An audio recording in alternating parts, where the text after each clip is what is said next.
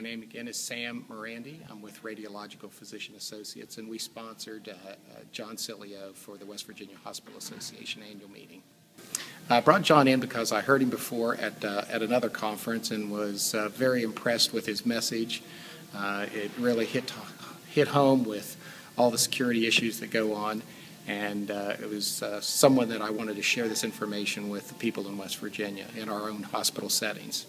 Well, we have all of our mobile devices, our computers, um, credit cards, every aspect of what we do is, is being touched by fraud. And, uh, you know, we just need to be made more aware of it. My favorite part of the uh, presentation was hogwash.